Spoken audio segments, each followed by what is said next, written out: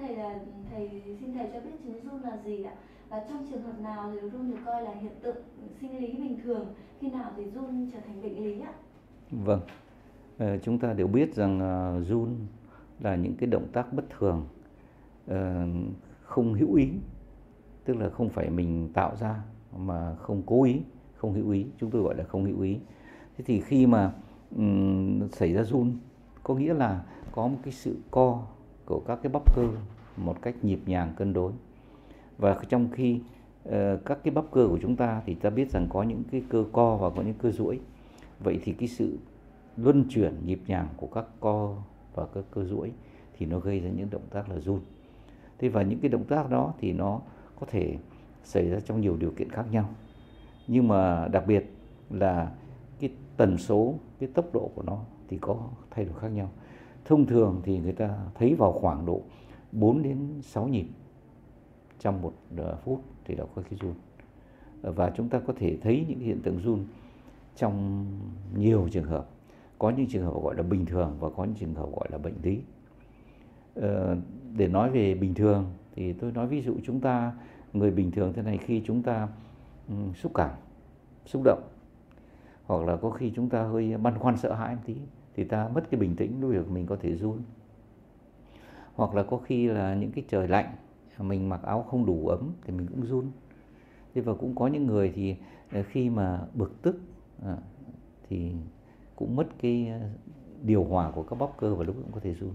Hay nói cách khác là có thể có rất nhiều trạng thái. Những cái tình trạng bình thường đó thì mình gặp trong đời sống bình thường. Nhưng mà ừ, nếu như những cái hiện tượng run nó xảy ra trong những hoàn cảnh không phải như vậy, thì chúng ta nên nghĩ đến có phải đấy là một cái run do một cái tình trạng bệnh hay không.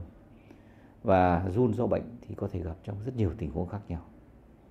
Chúng tôi ví dụ ờ, chúng ta gặp các người cao tuổi thì ở các ờ, cụ 70 80 mình thấy các cụ có thể run.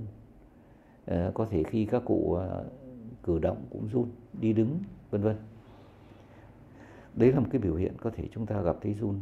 Ờ, nhưng mà cái đó vẫn còn mang tính chất là phần nào là sinh lý bởi vì tuổi già già là một hiện tượng sinh lý thôi. Nhưng mà nặng nề hơn là chúng ta có thể gặp những người tôi nói ví dụ ờ, bị biếu cổ bị uh, biếu tuyến giáp ấy, thì cũng run. Rồi uh, có những cái người mà uh, bị ngộ độc thuốc một cái loại thuốc nào đó thì cũng run. Và cũng có những khi là những cái thay đổi về những cái chuyển hóa trong người thì cũng có thể làm cho cái động tác của mình bất bình thường. Ờ, và có lẽ chúng ta thường gặp trong đời sống là những người cao tuổi thì run.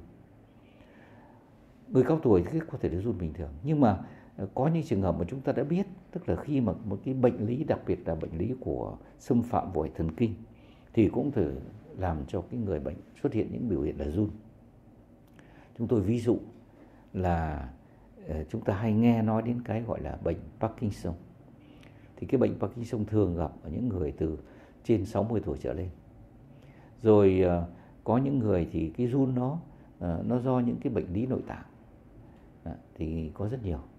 Thành ra là, nói tóm lại, tức là run là một cái hiện tượng mà chúng ta có thể gặp trong đời sống bình thường, trong hoàn cảnh bình thường và đặc biệt có thể gặp trong những trường hợp gọi là bệnh